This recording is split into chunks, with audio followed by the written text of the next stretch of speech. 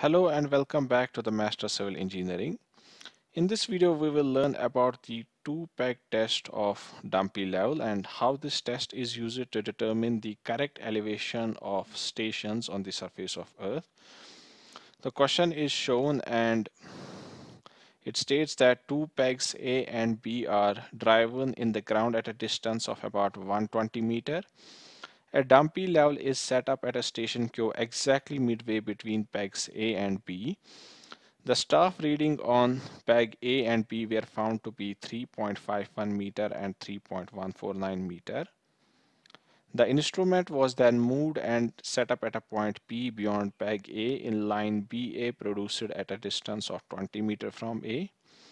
The staff readings on pegs A and B were 1.763 meter and 0.847 meter respectively.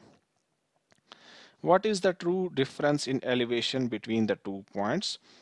With the level in the same position at P, what rod readings on B should the line of sight is adjusted? Check these readings against the true difference in elevation previously determined. First, what is the two-peg test of dumpy level? So a two-peg test checks whether your dumpy level is capable of showing a true horizontal reading. This is vital to ensure your measurements are accurate and reliable. If the two-peg test is showing an unacceptable error, then you must withdraw the equipment and get it serviced by an appropriate company. Now coming back to the solution, when the level is at midway between the two stations A and B, staff reading on A is 3.513 meter and staff reading on B is 3.149 meter. Since the level is exactly midway between the two stations, so it will be the true difference of level, which is equal to 3.513 minus 3.149, which is equal to 0.364 meter. Now when the level is at 20 meter from station A. Staff reading on A is 1.763 meter and staff reading on B is 0.847 meter. So the apparent difference of level is 1.763 minus 0.847 which is equal to 0.916 meter. Since the two differences are not equal, it means the line of collimation is not horizontal. So we will subtract the true rise. We can see the point A is at higher level than point B. So the elevation is rising from point A to point B and the true rise is given equal to the difference between the level readings when the instrument station is exactly at midway between the two stations A and B.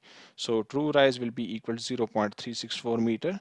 So subtract true rise corresponding reading at B at the same level as that at A is 1.763 minus 0.364 which is equal to 1.399 meter but the observed reading at B is equal to 0.847 meter.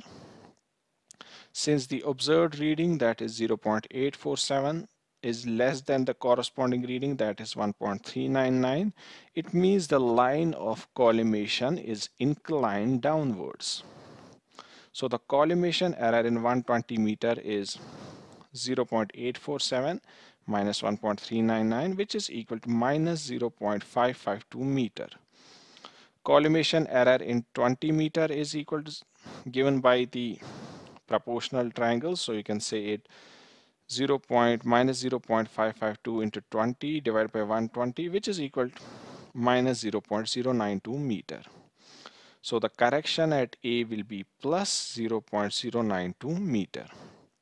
So the correct reading at A is simply observed reading plus correction which is equal to 1.763 plus 0.092 which is equal to 1.855 meter.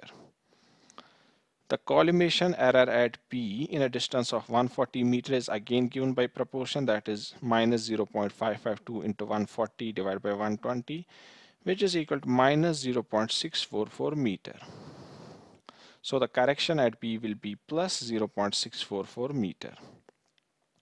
So the correct reading at B is simply observed reading plus the correction which is equal to 847 plus 0.644 which is equal to 1.491 meter.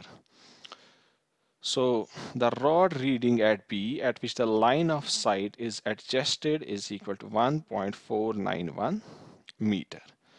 And you can check the difference between the two levels. That is difference between A and B is simply 1.855 minus 1.491 which is equal to 0.364 meter which is the same as that when the level was exactly midway between the two stations. So this is how we calculate the correct elevation of stations using the two peg test method. I hope you guys enjoyed the video and if you find this video helpful please give it a mm. thumbs up and share this video with your friends. Thanks for watching and I will see you in the next video.